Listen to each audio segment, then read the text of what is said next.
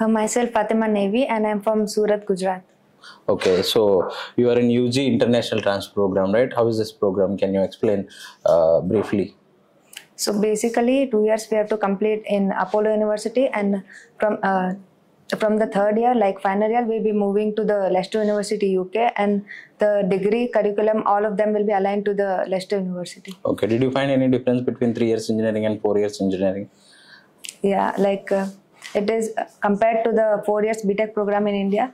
Okay, uh, like it is uh, time saving and compared to the three years uh, program at the uk it is uh, much more cost effective and we can uh, build a base and adjust here first two years okay. What about faculty here and play, uh, no hostel facilities and everything is good. People think Chittoor is in rural area, so uh, compared to Hyderabad, Bangalore, is it better or uh, how you scale? uh, so yeah faculty are supportive they are experienced like uh, and infrastructure the hostel facilities all are okay all Okay. are uh, like really good Okay, no. Um, my question is compared to Hyderabad, Bangalore, Chennai, you are in Chittoor, right? yeah So people think we want to go to Hyderabad, we want to study in uh, uh, Chennai or Bangalore, but you are in Chittoor. So is there any difference? Uh, uh, you, did you find any difference? not much difference like uh, as far as the apollo university is concerned the facilities have become more advanced and modern uh, compared to the big cities Okay, okay. Thank you. All the best. thank you